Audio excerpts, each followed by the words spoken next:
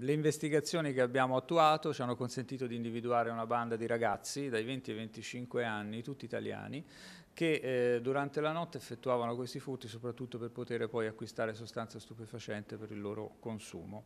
Rimasti senza lavoro non avevano più i soldi per poter acquistare la droga di cui facevano frequentemente uso. Così quattro ragazzi, uno residente a Piano di Mommio, un altro al Lido di Camaiore e altri due nella Piana Lucchese, per procurarsi la cocaina si sono trasformati in dei ladri seriali, mettendo a segno nei primi 15 giorni di novembre scorso una serie di furti notturni ai danni di varie attività commerciali del comune di Pietrasanta, tra cui due centri estetici, un bar, una macelleria nelle frazioni del Crociale dell'Africa e un centro commerciale lungo Laurea. Aurelia. I giovani consegnavano oggetti e soldi rubati dalle attività agli spacciatori in cambio di dosi di cocaina.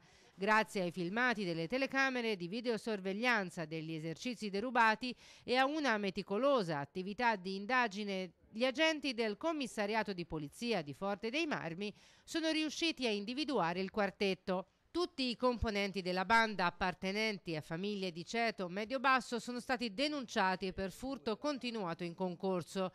I due giovani residenti in Versilia risultano incensurati, mentre i due della Piana Lucchese due anni fa furono arrestati, sempre dalla polizia, per un furto commesso in una macelleria di Ripa nel comune di Seravezza.